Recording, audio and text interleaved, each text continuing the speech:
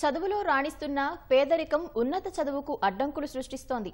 నీట్లో మంచి ర్యాంక్తో ప్రభుత్వ సీటు సాధించిన ప్రతి ఏడాది చెల్లించాల్సిన కనీస డబ్బులు లేక ఇబ్బందులు పెడుతోంది. ఫలితంగా ఫీజులు కట్టలేక వైద్య విద్యకు దూరమయ్యే పరిస్థితి కనిపిస్తోంది.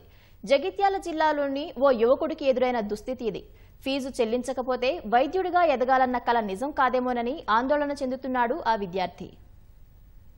జగిత్యాల జిల్లాలోని రాయకల్ మండలం రామాజీపేటకు చెందిన ఎనుగంటి నర్సయ్య గంగవ్వ దంపతులకు ఇద్దరు కుమార్తెలు ఒక కుమారుడు ఉన్నారు. కుమారుడు మహేందర్ చిన్నప్పటినుంచి చదువులో చురుగ్గా ఉంటూ పదవ తరగతిలో పది జీపీఏ ఇంటర్ బైపీసీలో తొమ్మిది వందల ఎనభై రెండు మార్కులు సాధించాడు. తొలుత నీట్లో ఏడు వేల ర్యాంకు సాధించాడు. సీటు రాలేదు. కరీంనగర్లోని ఓ కళాశాల యాజమాన్యం ఉచితంగా కోచింగ్ ఇవ్వడం వల్ల ఈసారి నీట్లో ఐదు వందల ఇరవై ఏడు మార్కులతో పదిహేను వందల ఎనభై ర్యాంకు సాధించాడు. దీంతో నల్గొండ జిల్లాలోని ప్రభుత్వ వైద్య కళాశాలలో సీటొచ్చింది. ఫీజులు ఇతర ఖర్చులకు ఏడాదికి రెండు లక్షల రూపాయల దాకా కావాలి. మహేందర్ తల్లిదండ్రులు వ్యవసాయ కూలీలు కావడంతో కుటుంబ ఆర్థిక పరిస్థితి అంతంత మాత్రమే. దీంతో ఫీజులు కట్టకపోతే వైద్య విద్యకు దూరమవుతానని ఆ యువకుడు ఆవేదన వ్యక్తం చేస్తున్నాడు. దాతలు గాని ప్రభుత్వం గాని సాయం అందించేలా చూడాలని కోరుతున్నారు.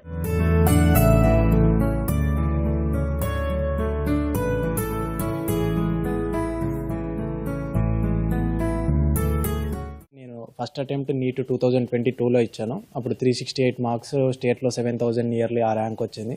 దాని తర్వాత మళ్ళీ లాంగ్ టర్మ్ కోచింగ్ తీసుకొని ఇప్పుడు మళ్ళీ జిఎంసీ నల్గొండలో ఫైవ్ ట్వంటీ సెవెన్ మార్క్స్తోని సీటు స్కోర్ చేయడం జరిగింది.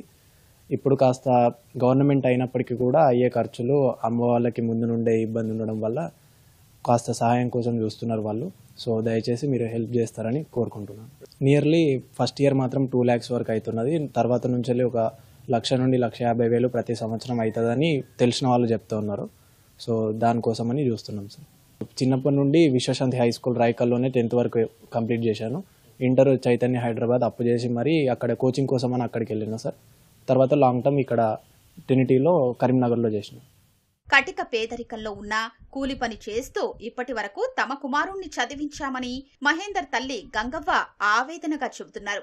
అప్పు చేసి మరీ చదివించామని కానీ డాక్టర్ కావాలన్న బిడ్డ కల కలలాగే మిగిలిపోతుందేమోనని ఆందోళన చెందుతున్నారు. ఇద్దరు కూతుర్లు అయితే పెళ్ళి చేసిన ఇక ఈ పిల్ల కొంచెం కూలి పని చేసుకుంటానికి ఇబ్బంది అవుతుంది. అయితే ఖర్చులని కావాలి కొడుకు సాయం అని అందరి ఆశించులు ఉండాలని అనుకుంటున్నా సార్.